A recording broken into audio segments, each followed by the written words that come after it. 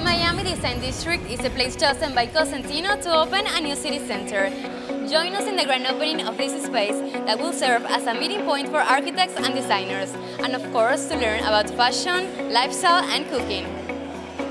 Over 200 leading members of Miami's architecture and design community, alongside top members of the press, joined Cosentino executives to tour the 3,200 square foot space while enjoying delicious cocktails and tapas in true fashion of Cosentino's Spanish hospitality. One year ago, we decided to move our headquarters uh, from Houston to Miami, and we're very happy with this city. And one year later, we are very pleased and very happy to, to be here celebrating the, the grand opening of this wonderful space that the expansion team, together with the marketing team, um, put uh, together for us. El concepto del City Center en Miami, lo que pretendemos y nuestro sueño es que se convierta en un sitio de encuentro del mundo del diseño y del lifestyle. Con esto me refiero a arquitectos, diseñadores, interioristas, kitchen and bath designers y también los clientes finales, porque al final cada uno de nosotros es el diseñador de su propia casa. Live music from one of Miami's favorite singers, Kiva Williams, and a graffiti installation by Alex Baham brought the spirit of the Miami Design District right into the party, where guests also experienced the latest product innovations from Silestone, Dekton, and Sensa by Cosentino.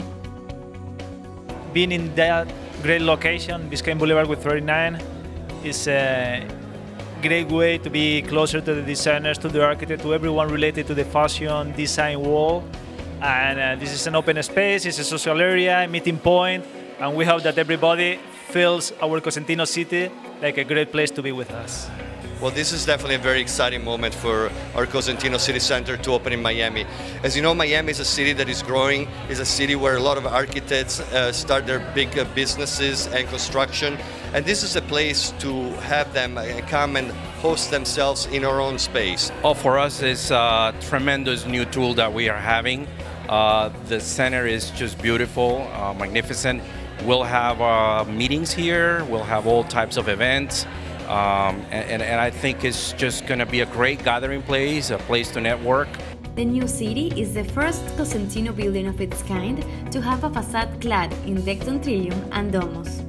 Part of the facade also serves as a canvas for graffiti or other types of street art to continue with the style of Miami's famous Wynwood walls. The Miami City Center is officially open this space reinforced Cosentino's commitment with the architecture and design community and its expanding presence in the heart of Miami.